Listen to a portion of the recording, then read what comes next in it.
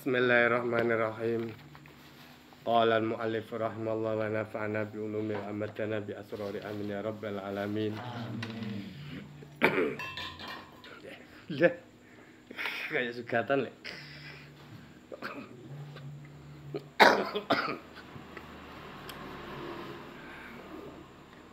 Lamma kana mimma yambagil insani ayyasuna nafsahu anit tadalluli lil khalqi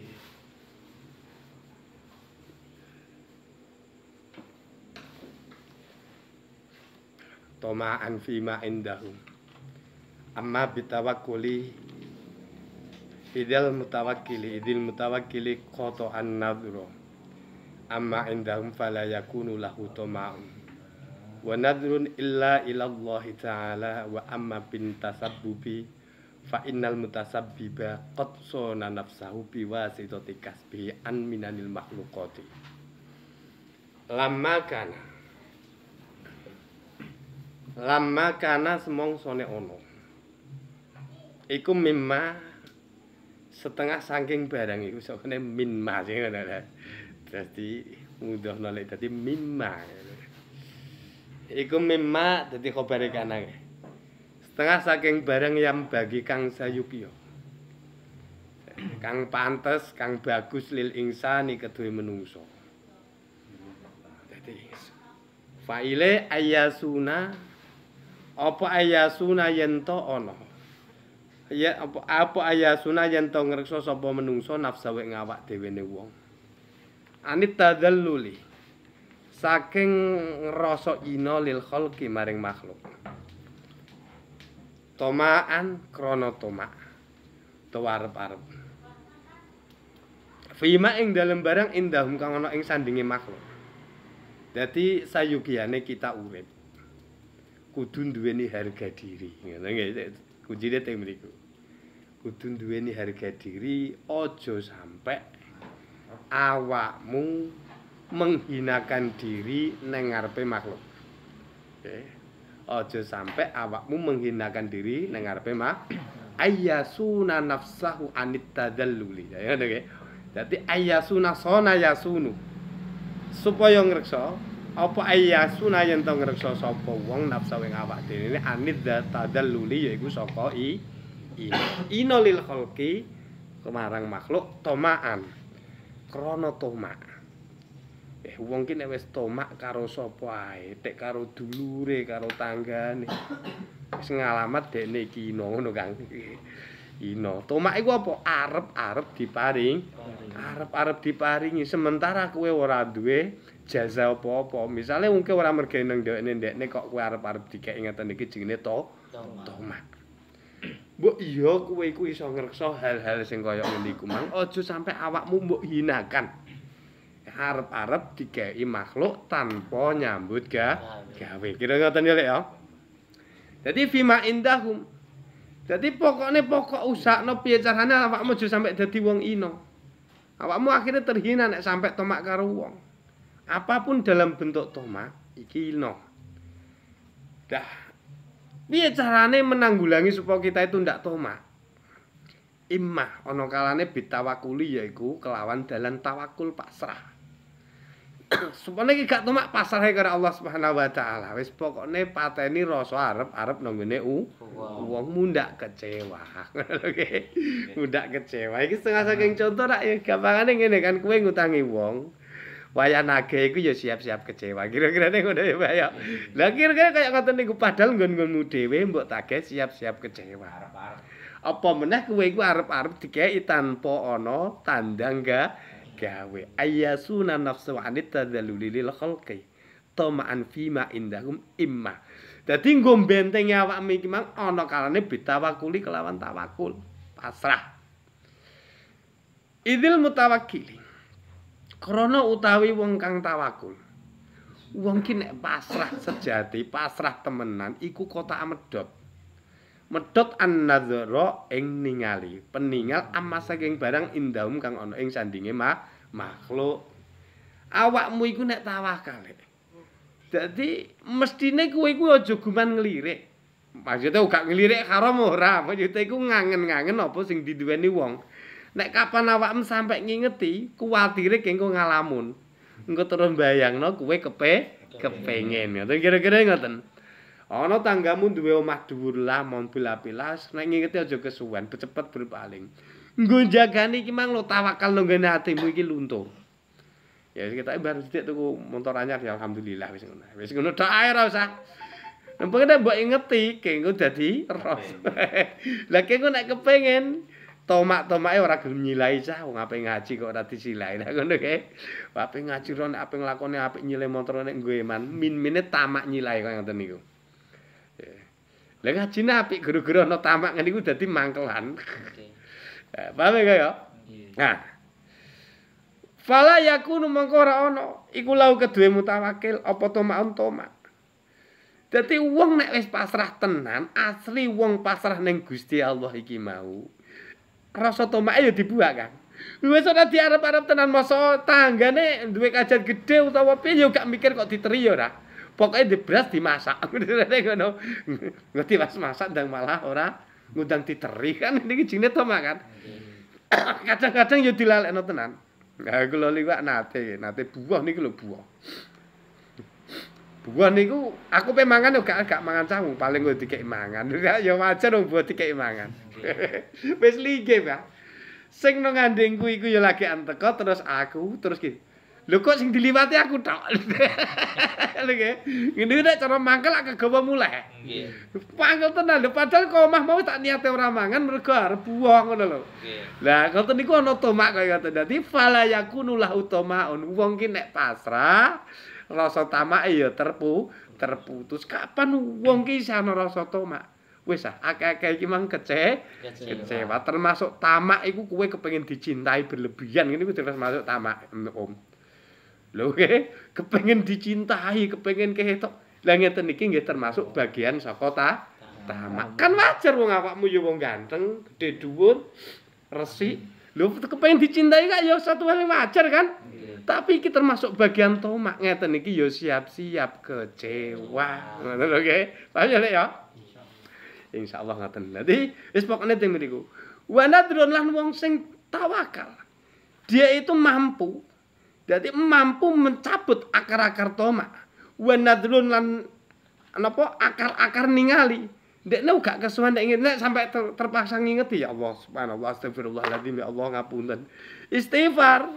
Astagfirullah. Tak istighfar kan apa? Ya Allah, aku kuwatir nek kepengin. Ngoten lho nggih. Kapan wong iki wis kepengin? Wis pokoke ngalamat apa yang mesti dilakoni. Sing akeh kan ngoten. Dadi nek iku njaga pandangane, njaga tamae illa kejaba ilallah maring Allah taala. Dia tidak memandang kecuali maring Allah. Nggih. Krungu kancam di bojo ayu aja aja kepengin roh lek. Bojone ayu lek bambang. Ya wis ben ngono. Ora usah kepengin roh, wis to. kok sampe kowe kepengin roh lho. Aku dolan omah bojomu bukan metu lek. Alah, guys ngene iki ngalamat ge. Wis tenan iku ge. Lah iku ngalamat. Aku ora kepengin mimiti ora. Kuwatire sekali kowe ngingeti kok cocok. Iki kego kegawa ngono lho lek ge. Mereka apa? Illa illallah ta'ala. Ngeten iki ya sapa dikeneki.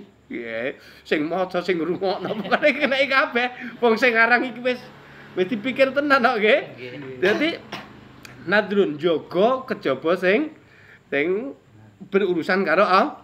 Ah, iku tawakal iki salah satune obat terdasar untuk membentengi diri kita dari tomak.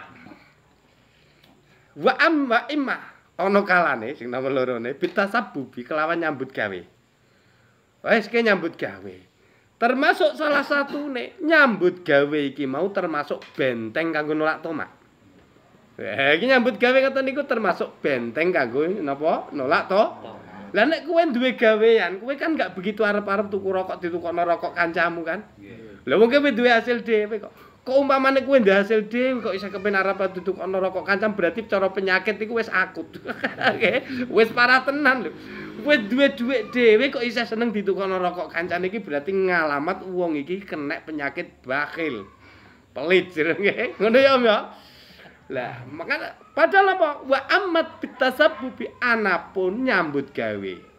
Fa innal mutasabbiba mongko sak temene nyambut gawe iku kotsona teman-teman ngrekso li nafse nafsahu ing awak wong dadi dengan pekerjaan wong itu terpelihara harga dirine sing mau mangan Jadi sing mau mangan iku mau gak iso, Waalaikumsalam. Terus dekne iku mau iso. Dadi wong gak curiga wong ketok nyambut gawe. Bambang iki mergane apa? Bendina kok tuku bakso ping telu.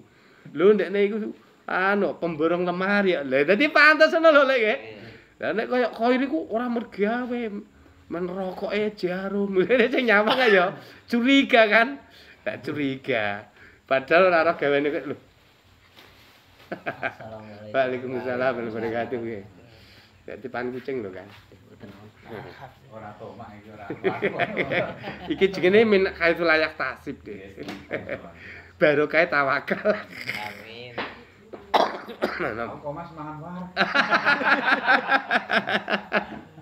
Eh, Jadi dengan mergawe wong iki mau iso ngrekso awake tumiba nanggone perkara to tomak. Yo Sampai masalah rezeki Gusti Allah iku maringi dalane sak pirang-pirang.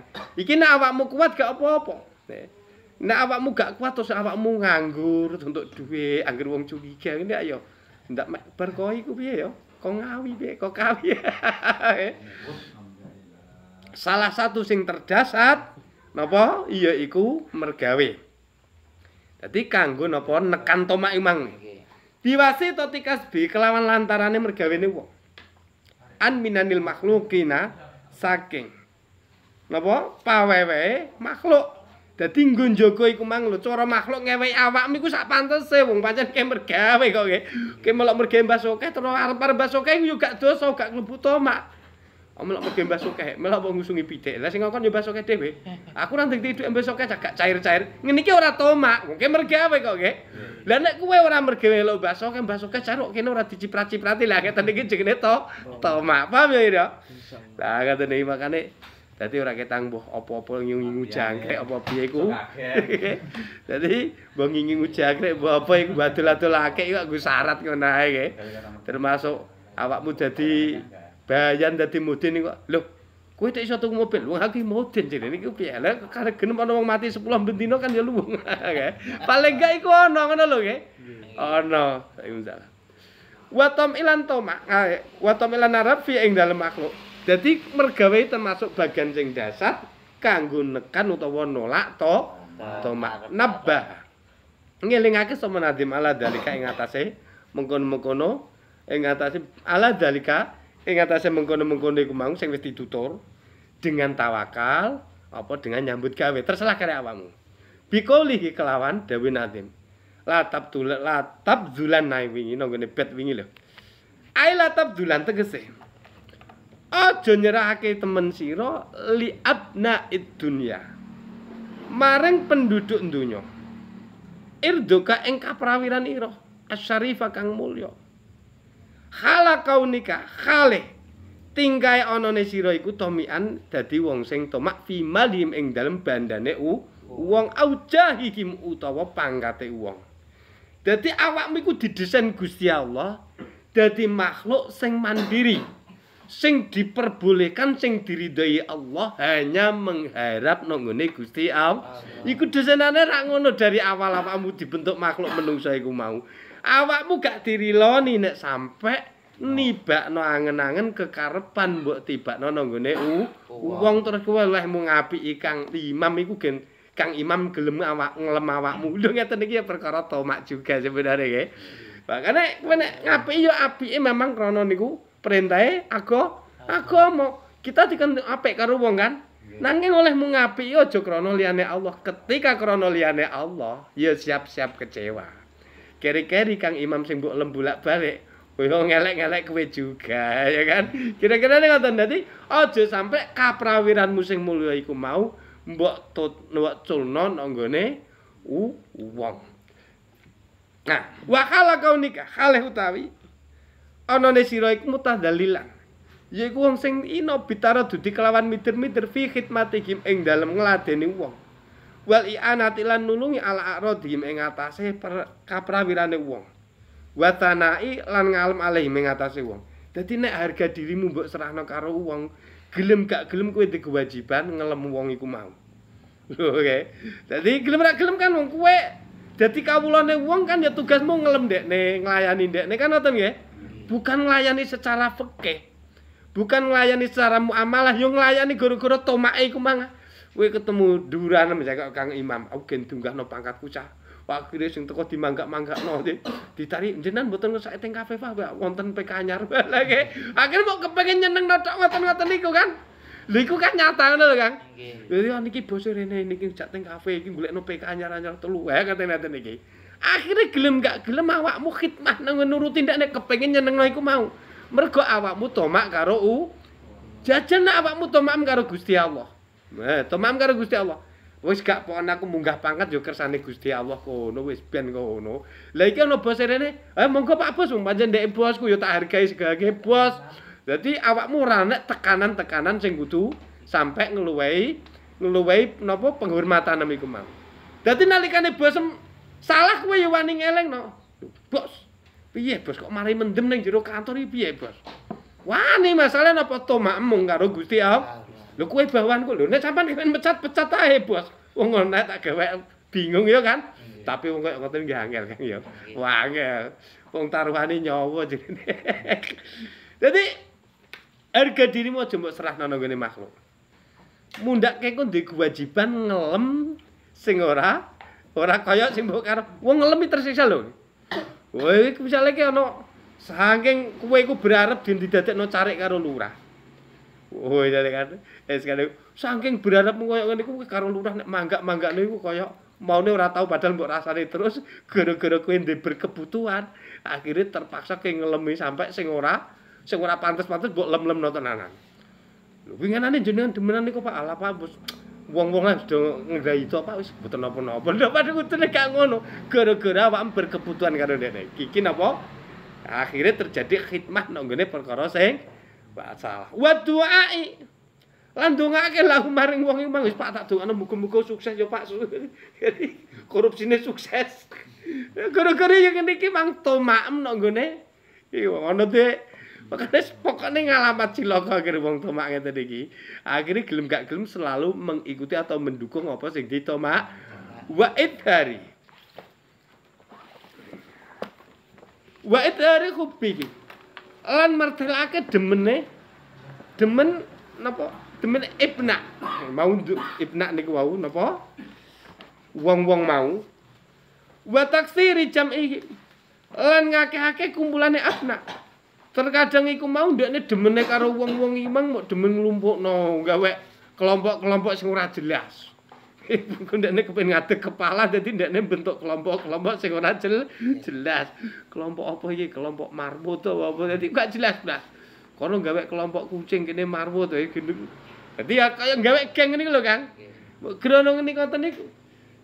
Faina dalika. Monggo krono sak temene matur kang tinutur iku min atari mahabbati dunya.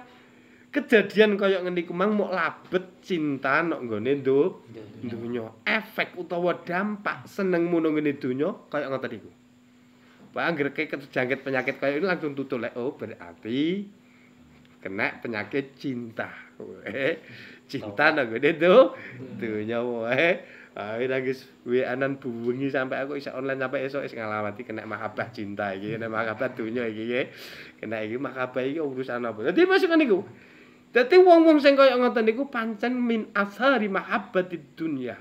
Sebab labete cinta do dunya dampake dunya. Wa ta'dhimiha.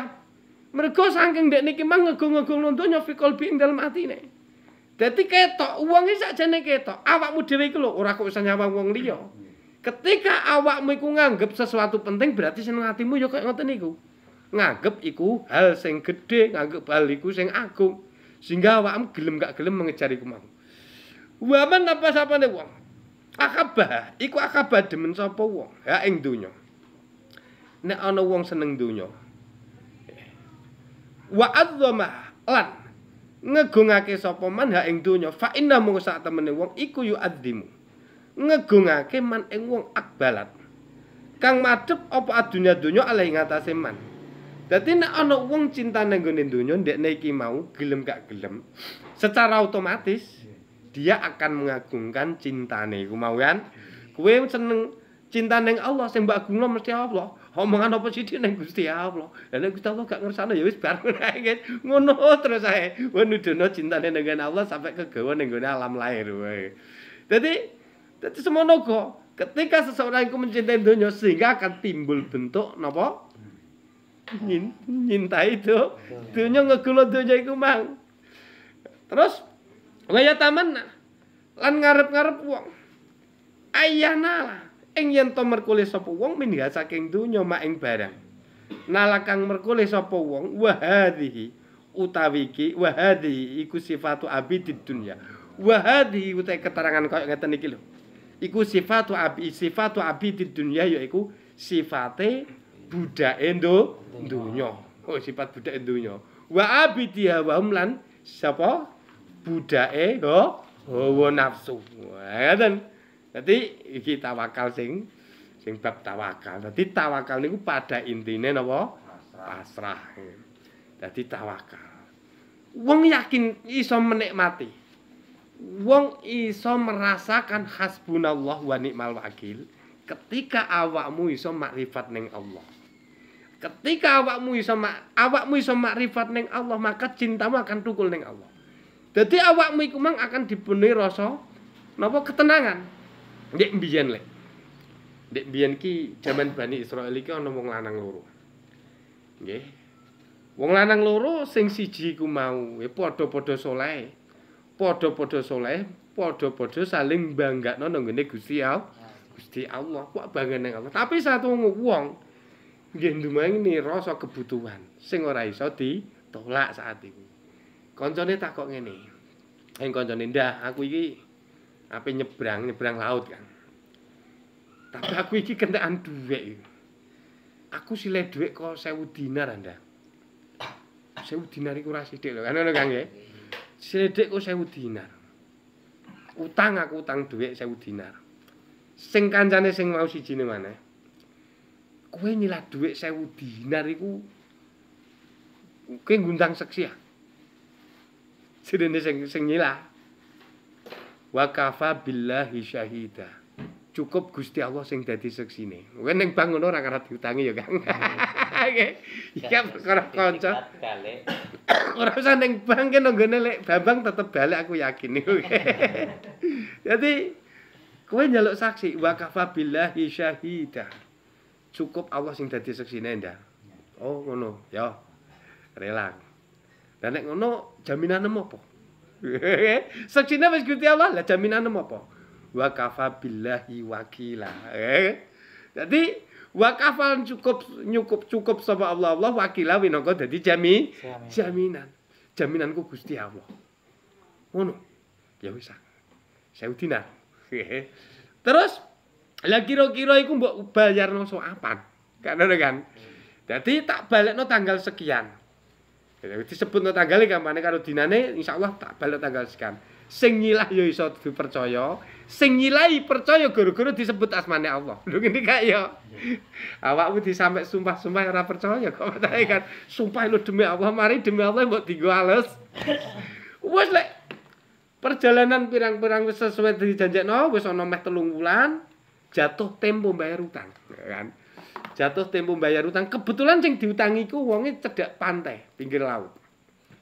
Wis lah sing diutangi sing utang iki mau wis wayahe bayar cara perjalanan antarane muarane iki mau pinggir sing diliwati ku perjalanan paling enggak seminggu kan berarti cara dina Jumat kemis lagi teko nggone kan? Nggih. Kudune iki aku kudu ndang mulai wong aku janjian kemis bayar utang. Dina Jumat iku mau Ning golek perahu dilalah gak ono. Golek apa dire pasang naik apa-apa ngene kan ono nggih. Perahu-perahu jaman sakmono. Oh gak ono tenan ndek niku. Sedina toh golek perahu gak ono. Tapi ndek niku secara syariat ndek niku wong gak pernah nulayani janji. Nanging secara kenyataan gelem gak gelem saat iku kan ndekne tetep telat sedina apa rong dina kan seandainya. Iku nek ana perahu, lah nek sampe seminggu gak ana perahu rak tetep. Nah, Terus akhirnya ndak niki golek kayu, Kang, dibolong kok tontongan. Duit 1000 dinar dinar dilepokno kabeh. Terus ndak nulis surat, sepurane ndak. Aku pengen mulai ora iso. Diatan apa iku? Sepurane ditulis jenenge, sepurane aku gak iso balik masalah iki gak ono Perahu kanggo nyabrang dilebokno. Iku digawa bar terus dekne salat digawa. Ya Allah. Kula riyen niki utang krana asmane jenengan lho. Kula utang niki krana asmane jenengan. Lah, piyambake niku njaluk seksi jenengan sing kula dadosake seksi. Ini sing kula catet asmane jenengan lho ya Allah. Terus piyambake tak niku piyambake pun lido. Terus nyuwun jaminan asmane jenengan kula nggih jaminan niku nggih rido. Eh, nek biari ora ngarang jaminane pangeran nggih. Ya Allah. Sarene sedaya niku jaminane jenengan, seksine jenengan. Niki utange kula nggih kula pasrahke jenengan, jenengan paring bayarke. Nggih. Diuncalane ngene segara. Bismillah plung. Mlaku ora kelep kan. Kayuku kelep. Lah wis dina kemis, ternyata sampai dina kemis iku mau koncone wis urung ana prau. Lah lah apa ngono ya iso telat seminggu iso apik oleh. telat seminggu iso apik kan. Telat sak bulan bareng iso apik. Iku saking wedine telat sedina. Lah koncone iku mang wis cedhak laut nginget-ngingeti. Eh bekne ana prau ketok, ndang bayar utang kok wayahane yen dina iki kan ngono kan. Arep-arep. Arep-arep kan. Wong arep-arep ngene iki ora klebu to mak lek. Mergo sesuai perjanji. Wis, diarep-arep kok gak ono ketok. Aku iku gak tau kanca iku goroh karo aku. Wong dekne wis wani nyantut asmane Allah ndara. Ndara ya wis mesti dipikir dhewe resikone kan ngono kan. Akhir-akhir iku ketok ana kayu. Kayu mung ketok Kang. Dek medun ketok ana kayu cah luwung kena dienggo kas geni. Jarane kena nggo dadek geni. Akhire dekne medun jiko kayu iku mau. Terus ndekne wis ora prasangka piye-piye lah. Lah kayu ku mang rek ame dipecel ame dipepe. Bareng dipecel ning kono ana dhuwit karo surat. Kok ana surate lho kanggo aku iki jenenge. Kanggo aku ternyata mah kancaku iki wali ya jenenge nggih. Saking Gusti Allah dinggo jame. Tapi gak main-main le. Kowe yo iso kowe. Mosok iku wong ndek kae saiki sebenarnya juga iso mare awakmu gak kulino kumandel ning Gusti. Ya. Wis le nggih. Pun akhire lha iki surat kanggo aku lho iki tanda tangane ndek niki jenengku barang. Ya terus akhire wis jarak satu bulan terus tang piye wong ndek nek pasrah kayuku kae teko kono ta ora kan ngono. Tetep aku tak njaluk ngapura karo kancaku cah wong aku janjeni tak tilikane ngundang Roro gak teko kono. Tapi ndak wis pasar karo pangeran gak mungkin Gusti Allah itu ngingkari janji kan. Lho iku. Akhirnya balik. Jadi assalamualaikum, nah, waalaikumsalam. Ya karo guya-guyu kang iku. Detek gak ana raupan muring-muring janji ngene. Ketoke kowe ngirim aku apa? Lah ketoke kira apa? Iya iki wis teko kene iki lho, dhuwit surat wis teko kene diparingno aku ngono. Ya tak ditemno pangeran winginane. Iku lho juga dhuwit pek kowe. Direne wis gak usah mbok usaurillah. Lha gitu nek nganggo jaminane Gusti Allah. Gusti Allah. Eh ngoten niku karena napa? Tawakal. Atine tawak tawakal. Wis. Wis tak nih. Gimana? Jadi biasanya tawakal. Tawakal ya ono maneh. Ndek mbiyen iki ana iki seputar tawakal sithik ya Kang ya. Gen lek Bambang lek tawakal gen tenanan. Amin. Ana wong wedok jenenge Fatimah Anisaburi. Ndekne wong wilayah Iran. Ndekne termasuk wong tasawuf. Wedok tapi tasawuf. Wong wedok. Wayune ya ora karuan ahli tasawuf. Neng siji panggonan liyane ana sijine Syekh Ahmad. Syekh Ahmad iku yo urung tau rabi, Kang. Urung rabi le. Wis. Ndekne cara rabi nek cara fikih kan kudu kufu kan. Sepadan lah. Nek iso golek sepadan iku gak gak keganggu ngibah. Ibahe kan ngoten. Neng ramene desane Syekh Ahmad iki anu ana wong wedok terkenal tasawuf juga. Nang daerah kene. Ya ngono. Sing dikrungu ning daerah kono ngono to. Syekh Ahmad iku ya penasaran. Sok nang wedok tasawuf iki nek didadek bunyai cocok jenenge kan. Ya istiqoroh. Ya Allah. Kula pireng kabar saking masyarakat wonten Fatimah Anisaburi ya Allah. Ya bae tulit ahli tasawuf. Ya urung roh rupane mbok tuwek mbok nem kanggo ndekne iku ora penting. Sing penting iku kira-kira kenek dinggo berjuang duwe turunan ngono. matur ya Allah seandainya engko ridho kula pengen ya mbake dadi garwane kula nanging kula pasrahke jenengan ya Allah tapi nek jenengan mboten ridho nggih mumpun isuke mangkat nilik lek waduh lek golek dikira iku ya wong biasa ternyata. Fatimah dikira ya wedok biasa sing gak duwe wonge tuwek. Misalnya bayangane kan ngono wong tasawuf lek barang ndekne mancing-mancing takok sing jenenge Fatimah Anisaburi ku undi? Niku lho mae kaget lek. Ternyata anake wong kerajaan pejabat kerajaan wonge sugih. Kaget lho. Mosok iki omahe wah ngalamat iki ra ngarep ditolak cintaku. Jadi kan ngono kan? Terus nek jajal nganguk nganguk nganguk delalah pas kebetulan iku mau mungkin terbuka apa piye. Terus takono wong liwat iku sinten? Lho iku jeneng Fatimah masuk wayune kok balik. Wis balik serang arah rang arah. Terus ngono ki lali dhewekne pasrah karo Gusti Allah. Lho sak urung mangkat kan pasrah aja ya? Nek salehko iku WAC ora istighara sik ngono lho nggih. WAC ora istighara sik iku salahmu ning kono ir makane kok diki barang akeh kecewane nggih. Mampet citane nggih. Yo dadi krungu di istikharah nek jenengan ridho tak pek bojo ya Allah. Ngono wae ngadepi anake wong sugih nek bangsawan jenengan. Selamat. Putus asa sadurunge ketem balik. Ngono wis selamat sekalah wis mau bakas. Kok tiwas arep-arep ndak kecewa wong ngaji wong kelo anu Kang termasuk guru sufi, guru tasawuf yang ngulang kifayatul qiyam no. Lah sak mati wis gak berharap banget ya, mergo delok wis gak mungkin lah.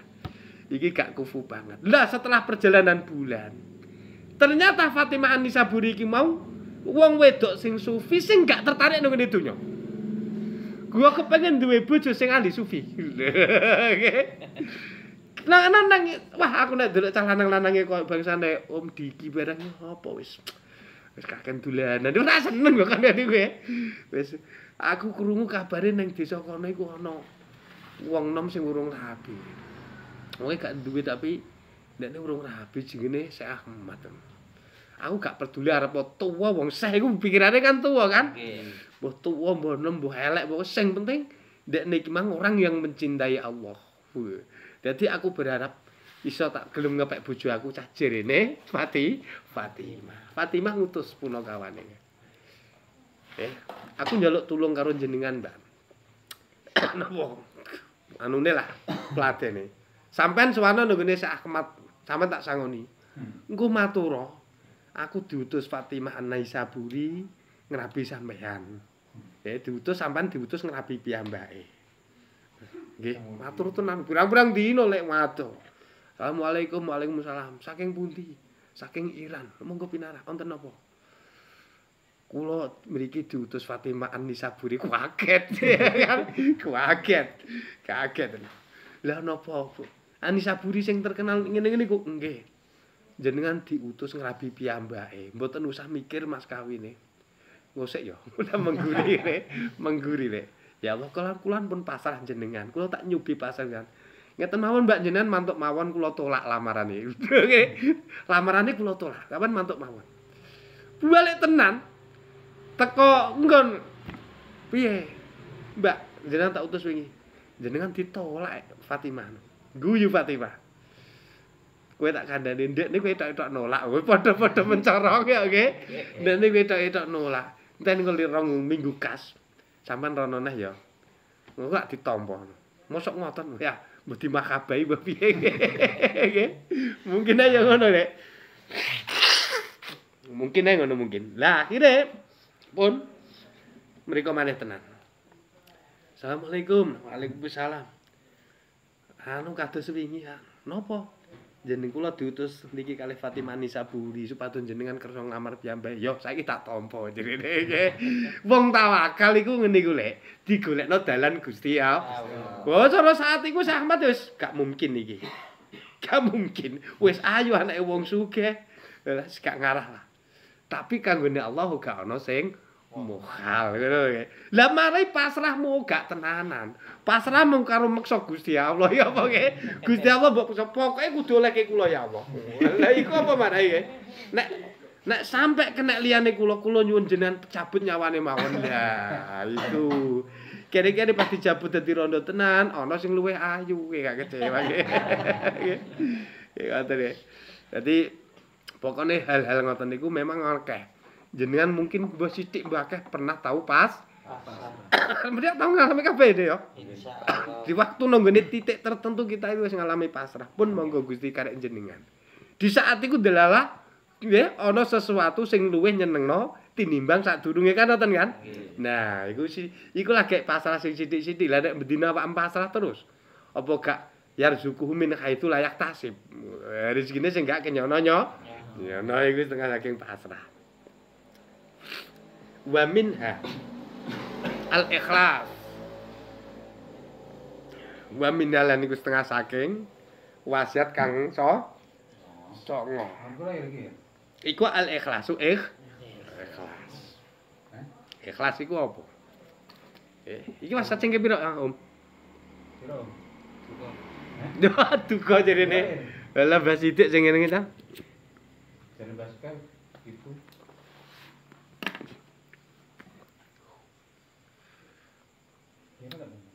Songo.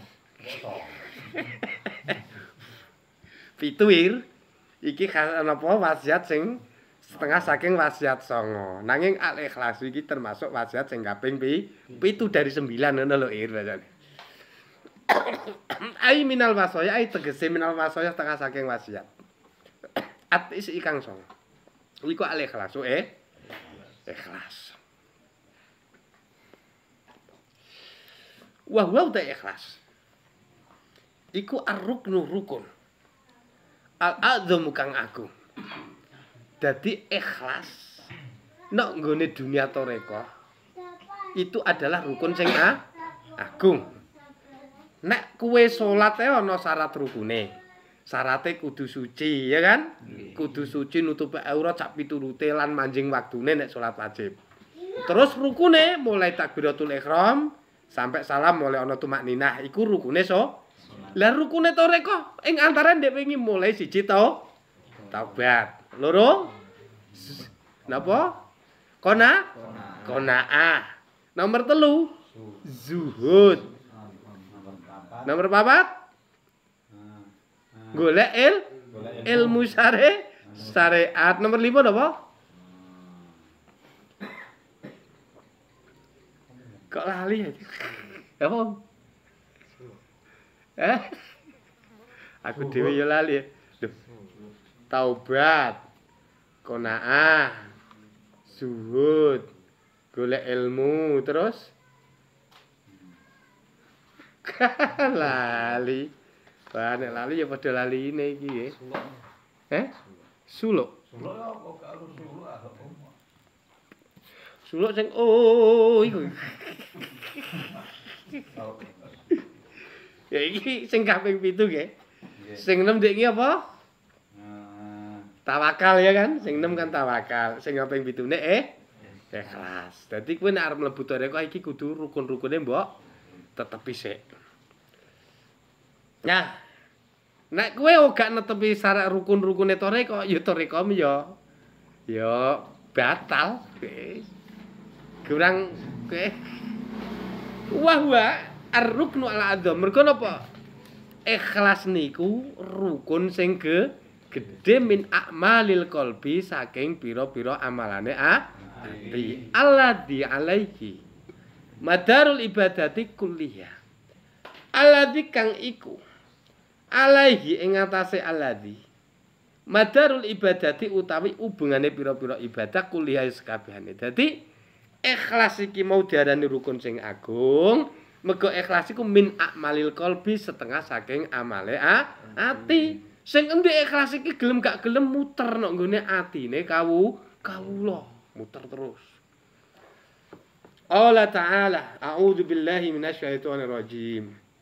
Wa ma umiru illa liya'budullaha mukhlishina lahuddin Surat apa? Kak Bali sing biasa terus. Lam yakunil iki surat apa? Lam yakunil ladina kafar min ahlil kitab wal musyrikin munfakin hatta ta'tiyahum bayyinah iku. Sing iku Kak. Eh Al-Bayyinah. Surat Al-Bayyi Al-Bayyinah. Sekitar ayat 5 nek ora salah. Wa ma umiru illa liya'budullaha mukhlishina lahuddin. Wama umiru. Ngene iki nek kowe biasa anu ir ngaji sorop ya mbok ingeti. Iki mane iki mau apa? Iki nek mama usul mesti ana silah, ana aid. Sakbare ma iku kalimah apa?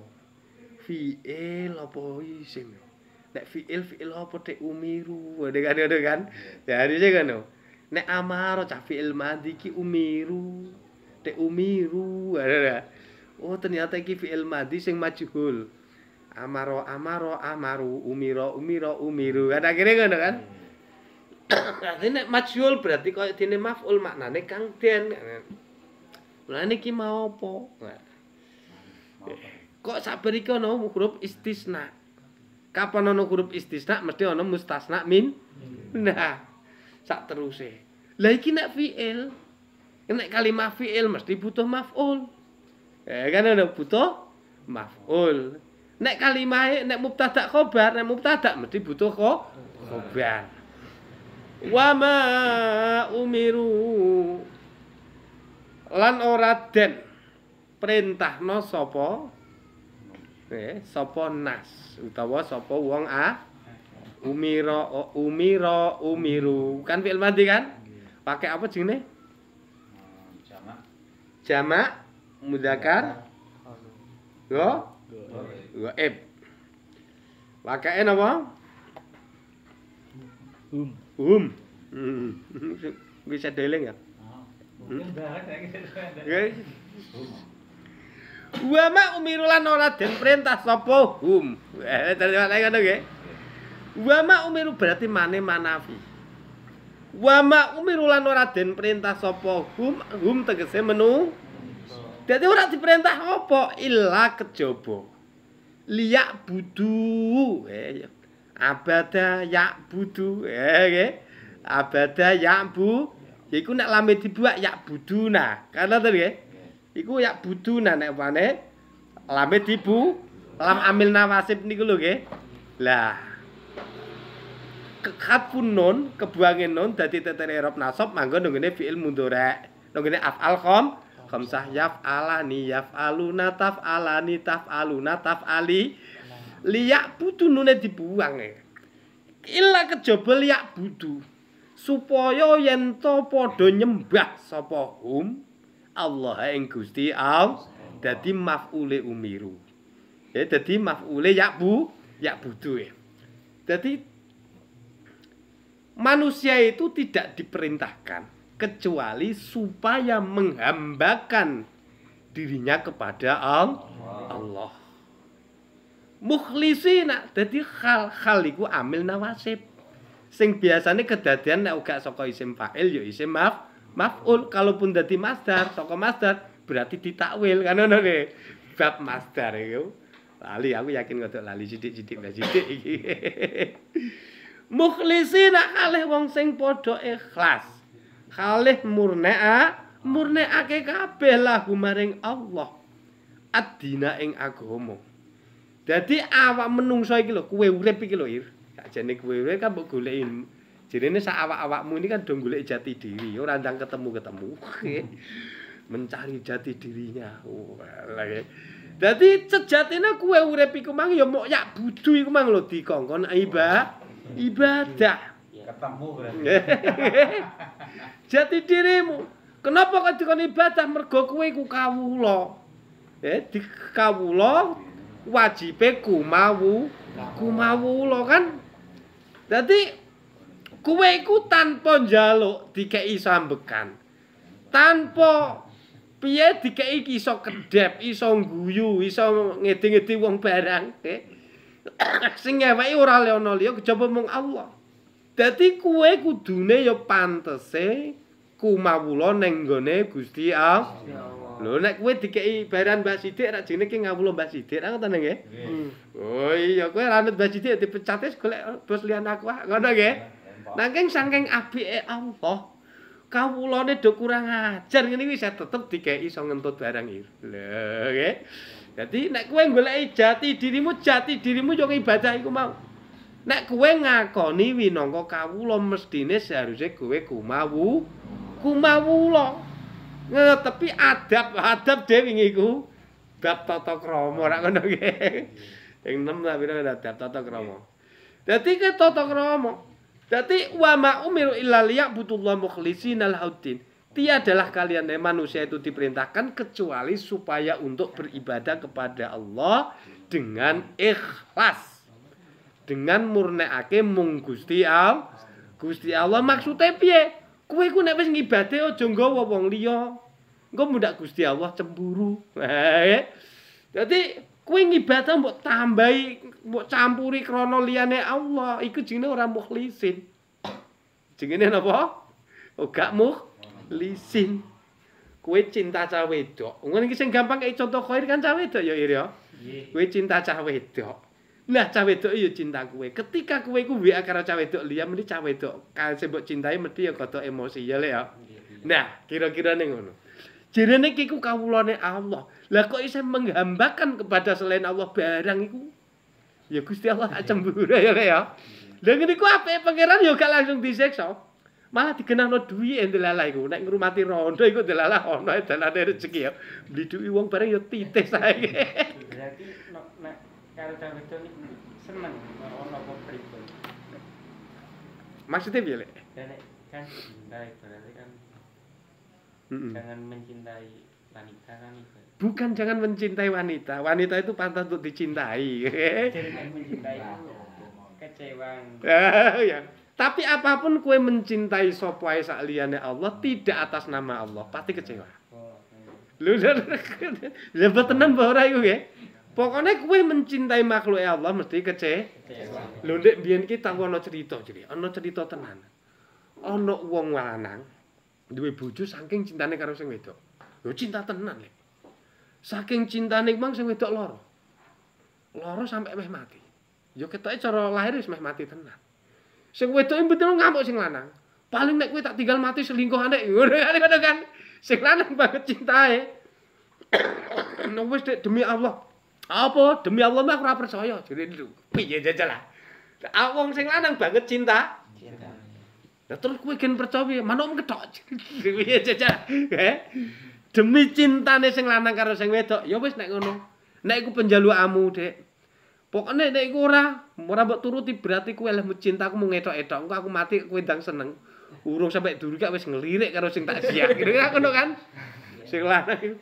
Akhirnya nuruti wedok. Kowe gen percaya piye? Manuk ketok. Manuk diketok tenan lho, Lek. Saking cintane sing we Itu. Baru diketok. Ya klesetan lek. Tapi apike ora mati ngono nggih. Lho ndra sing wedok iku gak sida mati, Lek. Balik sehat maneh. Jalek sehat. Sehat maneh.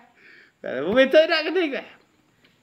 Barang sehat maneh lho sijine wong wedok iku normal ya kepengin ngono kan. Aku kepengin ngono mah. Lho piye manuke mbok kon ngetokno. Ya kowe sing goblok ngono mbok turuti aku kae lho jajal lah. Iya jajal. Lu aku ngono mbok turuti kudune ora usah mbok turuti ku dadi wong lanang ya goblok salah neh kita ngene Eh, makane iku ki musuh makhluk sitok iku tenan asik tapi yo mangkelno campur-campur pokoke iki. Kowe nek ora rangkep cintamu ning Gusti Allah. Wah. Sedih lho, Lek. Pokoknya kowe kudu iso. Nek gak engko tak tinggal minggat. Ngancam ngono, Lek. Sik nek iku kan tetep gak gak tok Kanjeng lanang. Ndelalah tapi iso ana wali sing ngetok marahi kan. Iso ana wali sing ngetok. Sowan aku tembang nangone dokter jere ditambah urung karo nek iso ngadeg wong ora iso mati wong gaweane nek kan ya tetep lengkok kan. Nek dikek wesi mending ku lara kabeh. Soale gede kiai wong kiai niku wali. Kalau jopo terus guyu ngeklek-ngeklek kiai ini. Kono lho tak golek kayu. Kula kayu napa ya ini? Lho kowe rak penyambung manukem kan. Kalau udah golek kayu tak ketok ngono diukur tak gorene lho. Dinantek pirsa dagake wis lak entek kuotane. setengah setengah percaya setengah ora le gawe ukuran gede gede to bu nggih paling ya orang ngarane wis ngono. Tok saking mergo wis putus ah putus asa. Dalan cijinya aku sowan ngene kiai monggo ya tak ketok. Ta iki mbok pikir tenan. Ampun. Gak kedawan. Mboten. Buka bae lho. Dibuka tenan ditempel karo kiai didongani. Dadi manuk lek. Kuwi ana wa wali. Barang mulane saya tuh ya, samene gedene. Lah wis tak kandhani iki wis ora kena mbok pedhot lho iki. Lah ya iku lho Lek, dituruti ya salah, ora mbok turuti ya sah. Salah. Ngono lho iku maksude wong wedok e ngono sadurunge kuwe seneng mau lho. Terok mau lho, Syekh Ahmad mau lho nggih. Sadurunge mbok tembung kuwe istikharah sik. Eh, istikharah sik. Engko ndang roro memang dia bukan yang terbaik. Engko ndang ndadekno jongkrok awakmu dadi napa? Kan akeh wong-wong sing maune bener-bener iman gara-gara ndek bojo, kedanan karo wong wedok, imane coplok. Kan akeh cerita iku. Kathah nggih. akeh sampai imane coplok tenan. Nah makanya sak durunge kowe iku anu krungu ana wong ayu. Jadi tanggane oh ana wong ayu. Ya wis. Suro aja kepen sik istikharah sik. Madul karo sing duwe ndo. Ya Allah sing duwe jenengan. Nek cocok lho ya Allah nggih. Nek cocok nek mboten cocok nggih. Kula nyuwun jenengan ridhoni mawon. Nek pancen ridho nggih monggo. Nek mboten nggih pun ya Allah ikhlas ke mawon teng anak kula. Lagi marah, ndi om tangga. Ayu tenan e. ayu tenan e nggih. Akhirnya ora cocok ya ya. Cocok-cocokno ya. Lah sing mari awakmu kedikian delok, sik akhire sing mimpin nafsumu. Lho bahaya nek dipimpin nafsu. Pokoke kan kudu kena. Aku sing iki bos. Jaran goyang mbok piye kudu dinggo ya kan. Golek minyak pelet sak pituru. Ya gara-gara ngeten iki wis kadung delok ndi. Nah, paham ya? Ya, pokoknya uga cintane wedok tok, cinta apa ae. Angger cintane nang ngene selain Allah, mesti bakal kece kecewa. Kuwi cintane awakmu dhewe ya kadang kecewa. Tak ingeti rai kuwi ya mangkel wong barang. Kita ngilonan ngono ora. Kuwi mangkel karo awakmu dhewe ngono lho nggih. Sekali-kali ngono jebul aku ngene ya ora nggih. Kecewa. kecewa juga nggih. Ngene kok iso mangkel wong barang. Nah, kata lho. Dadi Dadi kita wong iku diperintahna nang pangeran ora ana liya kejaba mung iba- ibadah. Surat Al-Bayyinah ayat li Wa qala dawa sama Allah taala. Ala lillahi dinul khalis. Iki nerangno tentang ikhlas nggih. Ikhlas iku dibahas ikhlas sing koyo piye. Allah, eling-eling. Iku lila tetep kedue Allah ad-dinu ta agama. Al khalisu kang mur murni iki surat Az-Zumar ayat 3. Surat Az-Zu Az-Zumar ayat 3 sampe golek teng mriku kan dipenggalno ayat penggalno ayat. Pun. Wa qala lan dawuh sapa Nabi sallallahu alaihi wasallam Kanjeng Nabi sallallahu alaihi wasallam akhlis dinaka. Yakfikal amalul qalil. Akhlis murni ana sira. Murni murni iku ya aja mbok campuri, nek mbok campuri jenenge ora mur murni. 90% asli niki. Nah, nang kene ora duwe nek Mas Murni lek. Mas tuwa. Mergo pancen gak murni-murni banget kan. Mas tuwa ngono le. Mas tuwa iku paling ya 20 mbok selikur karat ngono ae. Yo gak sampai 24 karat, murine Mas 24 karat. Akhlis murni ana sira, dinaka ing agama i ira. Nek kuwi iso murnekno agamamu, tegese piye? Kuwe iku nek nyagama ya wis bener-bener lillahi ta'ala aja mbok campuri. Saking ikhlase iku mang sampe awakmu iku nek arep apa ae ora ana campuran sing ora krana Al- Allah. Ik akhlis ikhlasno sira dinaka ing agama ira. Yakfika. Bakal nyukupi ka ing sira apa alamalu amal alqalilu kang sithik. Nek kowe ikhlas, sithiklah ngamalem iki bakal cu cukup. Niku. Lah kowe terus ngamal sithik tenan. Nah, Pokoknya sing penting kan ikhlas. Mungkin sithik kadang ya ora ikhlas juga kan. Akeh lah mesti salah sitoke sing ndarono sing ikhlas. Nah, Ngono lek kira-kira ngono. Ngamal sing wakilah.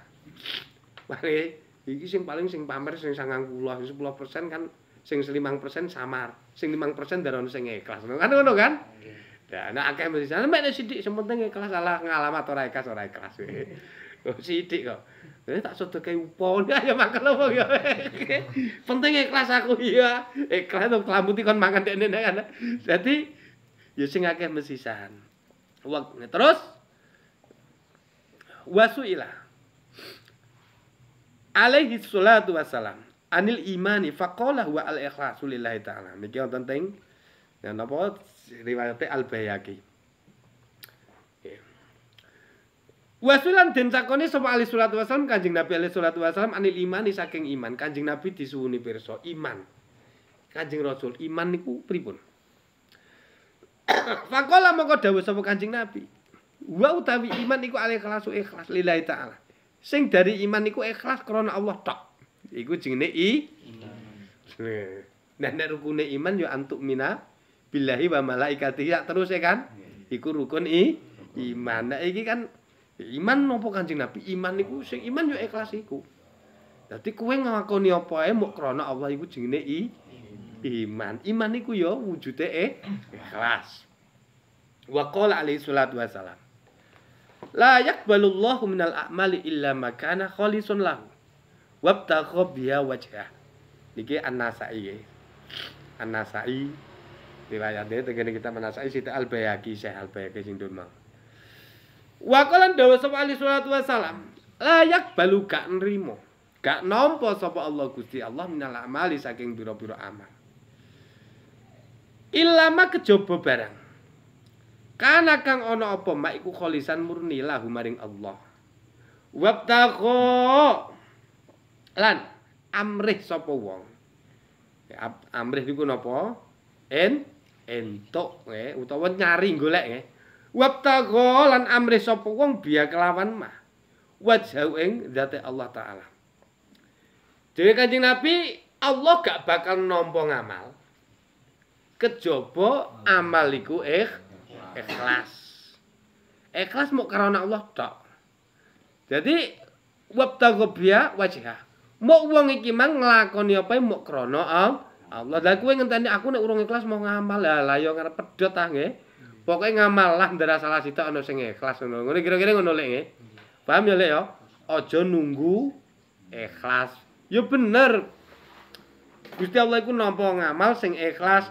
Nanging kowe ikhlas iso apa wong kowe ora gelem latihan. Ikhlas butuh lati latihan.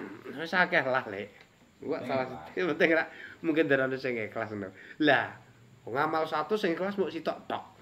Lah sing 99 ndak ketubyuk sing sitok iwang deh tuntas nggih. Tuntas. Wa qala ali salatu wasalam.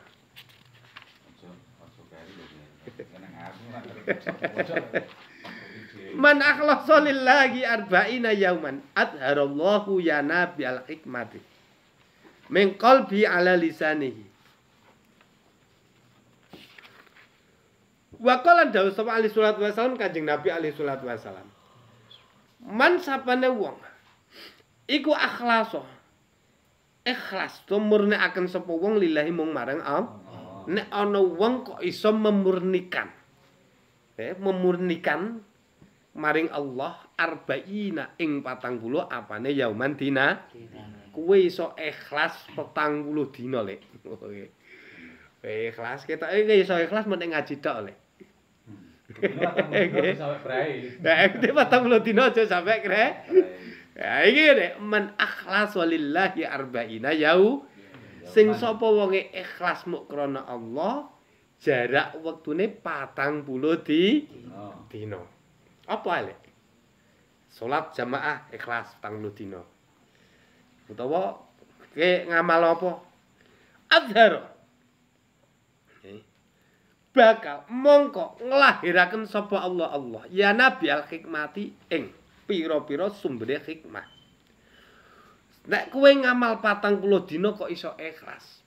Mesti Gusti Allah bakal memunculkan sumber eh, hikmah no mingkol bihi saking atine u. Wala lisanihi muncrat ing atase lesane u. Wong. Nggih. Wis piye jajale ketemu ngene iki ku seneng no. Ketemu ngene iki nyuweneng no rembes-rembes lain misale wis seneng ngono lho nggih. Berarti nek ngomong kelas pas ngaji. Eh, Sekali-sekali mungkin 40 dina. makane nek nang ngene Medina iki jina ana paketan arba'in. Eh arba paketan arba'in dhewe kan. Paketan arba'in niku kuwi iso jamaah salat ping 40 ning Madinah. Oh kan ana nggih. Lebur sifat munafike. Kan ngoten kan ana nggih. Makane ora 40 dina, 40 salatan. Nek ngene nang ngene iku arba'in niku. Lah sedina ping 5 berarti ak butuh 8 dina wis 40 kan. Berarti kan ben nek nang Madinah golek sing arba'in. Tapi jamaah terus, aja pedhot kowe. Sedina sewengi nang ngene Salat lima waktu aja bedok.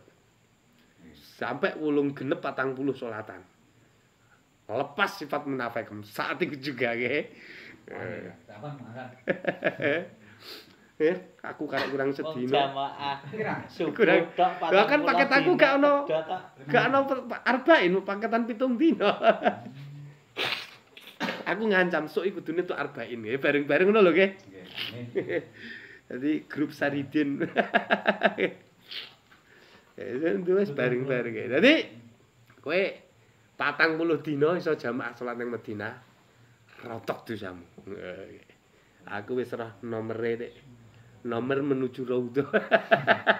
dua-dua. Dua-dua jadi masjid nggih. Ora ya sing Kang ya. Tak kira bari sak pira sing nusul cepet-cepet iki Kang Wahab nggih. Amin. Musa tetep donga panjenengan nggih. Donga panjenengan niku hadiah saka pangeran niku apa Gusti Allah wis karep pangeran kono. Pae butuhmu njaluk. Lah kanggo iku mau nih, kanggo nyeladian awakmu apa sing arep mbok 40 dina ni ikhlasem. Hikmah muncrat saka atimu. Lesanmu metu hikmah ngomong sak ngomong titis. Maksudnya ngepenakno sing kru krungu sementara ngene iki ngomong saya mangkel wong kan mergo ora ana hik hikmah. Sik bisa kados kas. Wa kana Abu Dzar radhiyallahu anhu yaqulu sa'altu Rasulullah sallallahu alaihi wasallam anil ikhlas. Bahwa faqala hatta as'ala anhu Jibrila fasala anhu Jibrila faqala hatta as'ala anhu Mikaila fasala anhu Mikaila faqala hatta as'ala anhu Rabbal Izzati fasala Rabbahu ta'ala anhu faqala al ikhlasu sirrun min asrari uti'uhu qalba man min ibadi Wa kana lan ana sapa Abu Dzar Abu Dzar Al-Ghifari radhiyallahu anhu yaqulu Matur sapa Abu Dzar saal tu Abu Dzar aku tau matur karo Kanjeng Nabi ngene lho. Saal tu takon ingsun matur ingsun Rasulullah ing Kanjeng Ra Rasul sallallahu alaihi wasallam. Takon apa bidar anil ikhlasi tentang ikhlas. Aku takok karo Kanjeng Nabi ikhlas niku napa Kanjeng Nabi? Mawa Nggih? Mahwa ma iku apa? Wa utawi em. Kanjeng Nabi sing diarani ikhlas niku napa Kanjeng Nabi Nek jerene lek Bambang kok nek wong ikhlas iku koyo wong ngising nggih. Kaya wong ngising. Nek itu ora didelok telek. Tapi nek saiki wong ngising saiki didelok wong ngising ning WC kok nggih. Dek biyen ning jumlah ora butuh delok. Eh saiki kan didelok wis mlebu kabeh apa urung kan. Nek dek biyen yo cocok kan. Dadi Kanjeng Rasul ikhlas niku napa? Faqala mongko nuli dawuh sapa Kanjeng Nabi. Hatta as'ala anhu. Hatta sehingga as'ala nyuwun. Dadi khatane lumaku napa? Amil nawa nawasib sing nyimpen an sing kebu kebuang ya kan. Dadi as'ala sebenarnya dinasabno nunggone an sing kebuang. Katane lumaku huruf cer ngoten. Kata as'ala sehingga yen to njaluk sapa ingsun jare Kanjeng Nabi anhu saking ikhlas Jibril ing makat Jibril. Abu Dzar kowe takok ikhlas nggih Kanjeng Nabi. Ikhlas niku napa Kanjeng Nabi? Sik sik Abu Dzar aku tak takon Jibril. Eh Jibril di awe Kanjeng Nabi. Nggih Kanjeng Nabi wonten napa Kanjeng Nabi? Iki lho Abu Dzar takok aku ikhlas. Ikhlas iku apa Bril Jibril? Ora kok terus dijawab dhewe kan enggak. Fasalam mongko nggih kedap Kanjeng Nabi. Kula tak tangken liyen. Fasalam mongko takon sapa Jibril anu saking ikhlas. Eh fasalam mongko takon sapa Kanjeng Nabi anu saking ikhlas Jibril ing malaikat Ji- Jibril. Lah barang niku malaikat Jibril sik kula tak maturin Kanjeng Nabi tak tangkletin. Faqala mongko nil matur sapa Jibril kata as'ala hingga yen to ngucap sapa ingsun matur ingsun anu saking ikhlas Mikail malaikat ik Mikail. Lho, ora langsung dijawab nggih. Abu Dzar takok Kanjeng Nabi ikhlas niku napa Kanjeng Nabi? Ya aku tak takok sik Jibril. Jibril jawab Jibril jawab kedap Kanjeng Nabi kula tak tangket Mikail. Nggih. Eh, Mosok malaikat Jibril gak ro ngerti iku saking agunge eh anu Mikael di mana kamu? Wah, ya Bril ada apa Bril? Ikhlas itu apa? Oh bentar Bril saya tak tanya bose oke. Fasalah mongko takon sapa Mikael anu saking ikhlas. Fasalah mongko takon sapa Jibril anu saking ikhlas. Mikael yang malaikat Mikael fakola mongko nuli dawuh sapa Mikael. Se Kula tak takok bose sik tak takok pangeran iki lho pangeran. Kata asale nggo yen to nyuwun sapa ingsun anu saking ikhlas Rabbal Izzati ing penge. Kenapa gak Jibril dhewe langsung takok? Kenapa melalui eh, Mika Mikael? Berarti ada apa semuanya itu kan? Angge ngangele eh. Fasa'ala mengko takon sapa? Mikael, Rabbahu ing pangerane Mikael. Rabbahu ta'ala. Anggo saking ikhlas pakola mongko nuli dawuh sapa pangeran. Al ikhlas utawi ikhlas iku sirun rahasia. Mikael sampai no. Ikhlas iku rahasia min asrori saking pira-pira rahasia ingsun Mikael. Dadi sampai no nggone Jibril ganti no nggone kekasihku Muhammad. Ikhlas iku rahasia setengah saking rahasiaku. Udiu nitipake ingsun hu ing sir. Kolbaman ing atine wong asau. Kang ngersakake sapa ingsun min ibadi saking kawula ingsun. Sehingga ikhlas iku tak paringno, tak titipno, mboten tak paringno, tak titipno nang gone atine wong sing tak kersakno saka kawula. Kawulaku sampe sakmono dasate eh ikhlas wallahu alam. Anu lepaten ini. Nek Doni iki rontok anu wis gak kamera aku.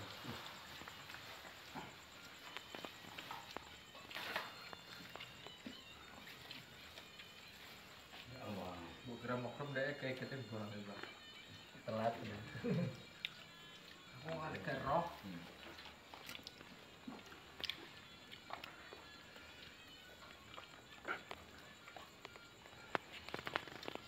Ini, sampean, hmm, sampean, nggak ada, nggak